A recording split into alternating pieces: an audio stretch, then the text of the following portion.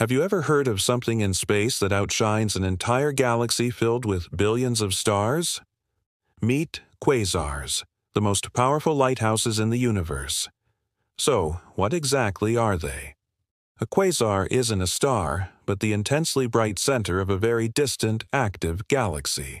At its heart lies a supermassive black hole, millions or even billions of times more massive than our Sun. Here's how they generate so much power.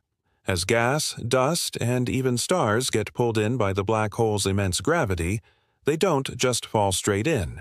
Instead, they form a swirling, superheated disk called an accretion disk. The friction and gravitational forces in this disk are so extreme that they convert mass into energy with mind boggling efficiency, blasting out incredible amounts of light and radiation. These cosmic engines are so luminous they can be seen from across the observable universe, allowing us to peek into the distant past. Thanks for watching. If you love exploring the cosmos, don't forget to like and subscribe for more space adventures.